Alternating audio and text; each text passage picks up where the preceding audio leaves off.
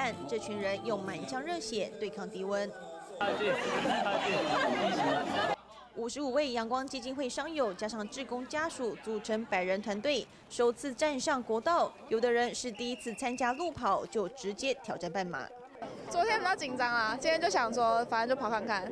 其中有三十多位是八仙晨报伤者，像是李慧珠，在不断练跑中找到与疤痕共处的方式。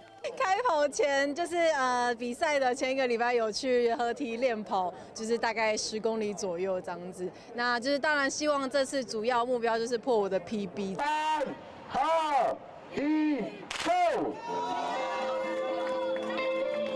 枪声一响，奋力往前。先前腿部有百分之二十二面积烧烫伤的蔡丰灿，在最后五公里一度抽筋，努力跑回来，是为了证明自己的复健成果。就是让大家看看，我们受伤之后都很努力，然后现在已经好了，也可以来参加这个活动。这次我们的主题叫做“脸部平权，Keep Shining”。不管是孩子或者是烧其他烧伤的朋友，经过这这场历练之后，能够让他们的生命。一样能够继续的发光发热。